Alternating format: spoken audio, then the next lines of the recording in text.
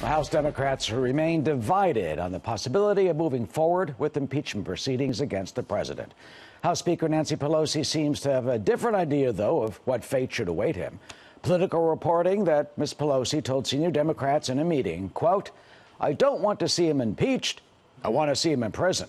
Let's bring in our political panel Beverly Hallberg, a fellow for the Independent Women's Forum, and Joel Rubin, former Deputy Assistant Secretary of State under President Obama. Welcome to you both. Beverly. It's great to be with you, Eric. Let me start with you, Beverly. I, I mean, the Speaker does not support impeaching him yet.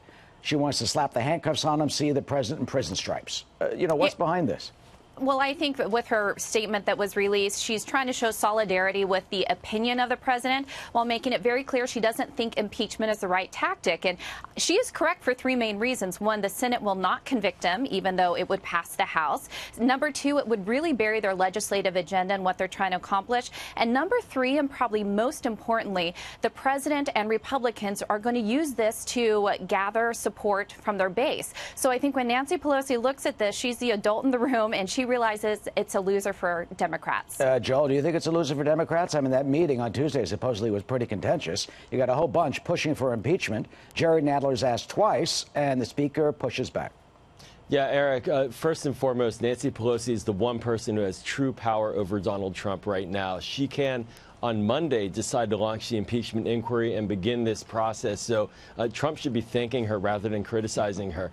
And, and really, she is testing the waters, trying to see if she can get enough support but we're getting to a point right now where oversight is being blocked so much by the, the president and the executive branch that really uh, the president is in a way daring uh, Nancy Pelosi, Speaker Pelosi, to call for impeachment proceedings to begin because this administration is just not cooperating on any level right now with Congress in its oversight function. Well, is that, that is, is that enough of a reason to uh, call for impeachment, Joel? I mean, look, in Fast yeah. and Furious and Eric Holder, he was held in contempt. I mean, you have the Obama yeah. administration and other administrations pushing back against congressional oversight. Yeah, no, congressional oversight pushback is normal, and I served at the State Department and, and, handled the, the work with the House for the Secretary of State, but we didn't block on a repetitive basis every possible witness that Democrats in this case are asking for, which is what's happening. So uh, there's going to need to be a, a moment where Speaker Pelosi looks at her caucus and says, this is the time. And the president needs to really think through, does he want to continue to stonewall the uh, House of Representatives, or does he want to cooperate? If he doesn't cooperate, he's going to get impeachment. Beverly, why doesn't the administration just cooperate? I mean, uh, you know, well, they have. I mean, fully, not just push back against all the subpoenas and say that we're not going to testify.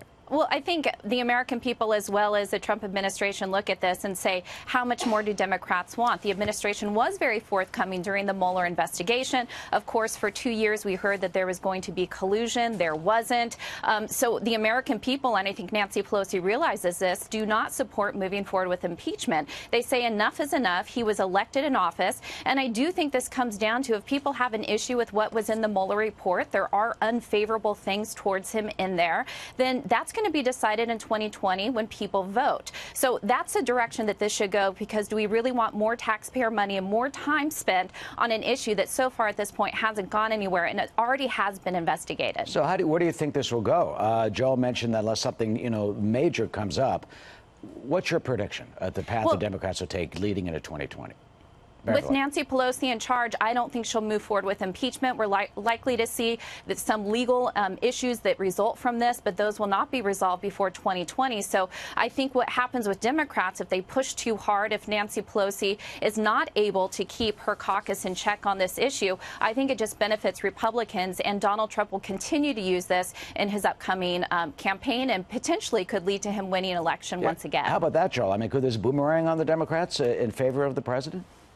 Well, it, it, could boomerang if nothing is found, but there's a lot underneath those rocks. And right now, Democrats are unified behind Speaker Pelosi. There is concern and frustration about tempo and pace, but clearly, Speaker Pelosi is voicing not just the frustration of the caucus as a whole, but also a real idea that it has to be done politically in a manner that demonstrates that the president engaged in crimes and that he engaged in, in impeachable offenses. And uh, that may be very well why he's blocking any kind of testimony from his White House aides. And something else, Joe you served in the very highest levels of, of our government. I mean, you've got a real, they're throwing bricks at each other. Uh, I mean, when, when the Speaker of the House says the President of the United States deserves to be in prison, and then yeah. the uh, President of the United States says the Speaker of the House is a disgrace to the country and to her family, Um, have you ever seen anything like this?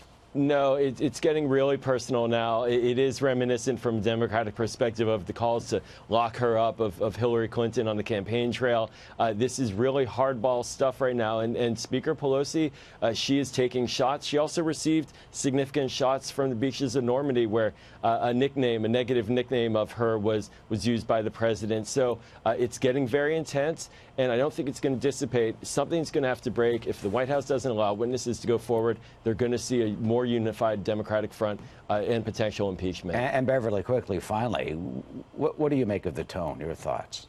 Well, I've never been a fan of name calling from either side altogether. I think most Americans wish that would stop. But at the same time, I do think the president has a perspective on this, which is hey, we've already been through an investigation. Now there are calls of putting him in jail. We are talking about the president, someone that people elected, yet we don't have any evidence of anything that he should be put in jail for. So I think there's a reason why he's being tough on this, even though I wish they both stop calling each other names. All right, maybe maybe that'll happen. I bet it won't. All right. Probably not. Probably not. All right, Joel and Beverly, thanks so much.